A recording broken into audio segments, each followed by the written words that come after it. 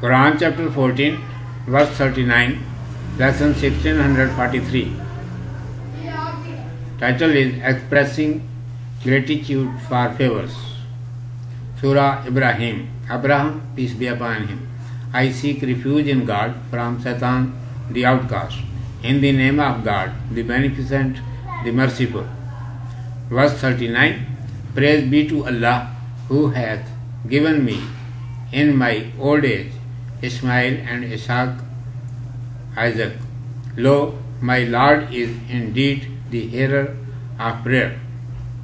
Commentary Messenger Abraham, peace be upon him, is busy in supplications before the Lord.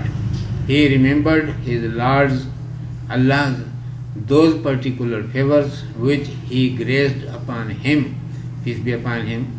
He, peace be upon him, remembers them and says, If I do not pray from you, then from whom I should? Certainly you hear the prayers and fulfill requirements of the people. I had been old and did not have any child. I prayed from you that I should not be left childless. You heard my supplication, and during my old age, you gave not only one but two sons, two sons named Ishmael and Isaac, peace be upon them. Then there was no doubt that indeed you hear prayers of your servants and grant them. Therefore, I have produced myself in your court and pray to make this township blessed. Land of this region does not produce any crop, while irrespective of apparent causes, you bestowed son like uh, Isaac, peace be upon him, to me, the old man, whose wife is also old, then it is not difficult for you to provide fruits for food of inhabitants of this barren and draughty land and guide them to be thankful to you. It seems after reciting these prayers of Prophet Abraham, peace be upon him, that it is also one allegiance out of prayers, res- prayers respects that by remembering previous favors one should be thankful and having regard for those kindness one should ask about more favors.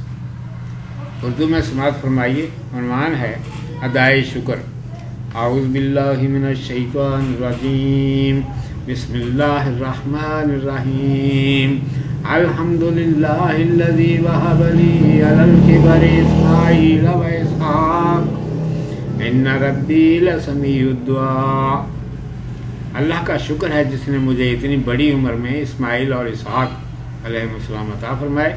بے شک میرا رب دعا کو سنتا ہے. حضرت ابراہیم علیہ السلام اپنے رب سے مناجات میں مصروف ہیں۔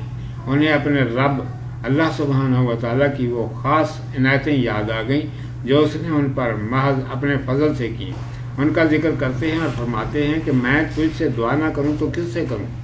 تو یقیناً دعائیں سنتا ہے اور لوگوں کی درخواستیں پوری کرتا ہے۔ میں بوڑھا ہو چکا تھا، میرے کوئی اولاد نہ تھی۔ میں نے تجھ سے دعا کی کہ مجھے لاولد نہ چھوڑے۔ تو نے میری دعا سنی۔ اور بڑھاپے میں ایک چھوڑ دو فرزند، اسماعیل علیہ السلام اور اسحاق علیہ السلام عطا فرمائے۔ اس کے بعد اس میں شبے کی گنجائش کہاں رہی؟ کہ تو اپنے بندوں کی دعا ضرور سنتا اور قبول فرماتا ہے۔ اس لیے پھر آپ کی بارگاہ میں حاضر ہوا ہوں اور دعا مانتا ہوں کہ اس بستی کو بابرکت بنا دے۔ یہاں کچھ پیداوار نہیں ہوتی۔ جب تو نے ظاہری اسباب سے قطع نظر کر کے مجھ جیسے بوڑھے کو بوڑھی بیوی سے اسحاق علیہ السلام جیسا فرزند عطا فرمایا، تو تیرے نزدیک یہ کیا مشکل ہے کہ اس بنجر اور خشک زمین کے رہنے والوں کو میوے اور پھل کھانے کو دے اور ان کو شکر ادا کرنے کی توفیق دے؟ حضرت ابراہیم علیہ السلام کی یہ دعائیں پڑھ کر معلوم ہوتا ہے کہ دعا کے آداب میں سے ایک یہ بھی ہے کہ پہلی نعمتوں کو یاد کر کے ان کا شکر ادا کرے اور ان کو وسیلہ گردان کر مزید نعمتیں طلب کریں۔